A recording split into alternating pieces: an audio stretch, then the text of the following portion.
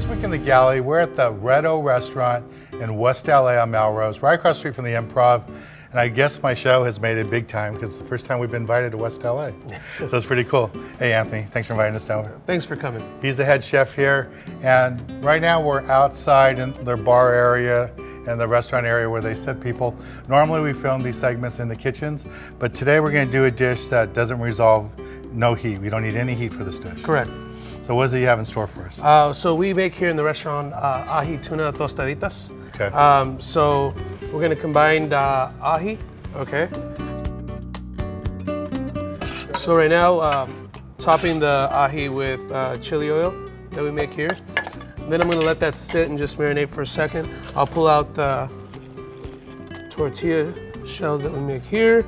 Um, we're gonna mix Napa cabbage with our lime garlic vinaigrette again. Okay. Mix that together well. So this will be the base of the tostada. All right. We're gonna add a little bit of salt to the tuna. All right, mix that up a little more. We'll go ahead and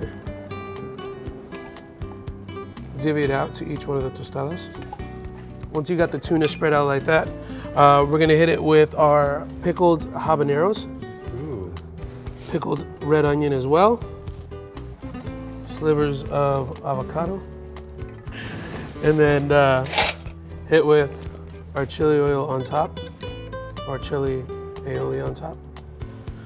Then as you can see here, we've went ahead and lined a plate with banana leaves.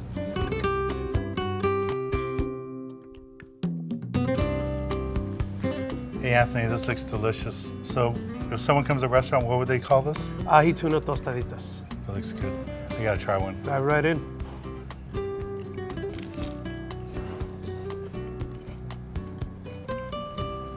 That is so good.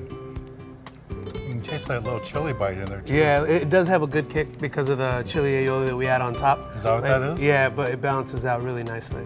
Yeah, and you can taste everything, the avocado, everything. Nothing's overwhelming, but you feel that little chili flavor. That's really nice.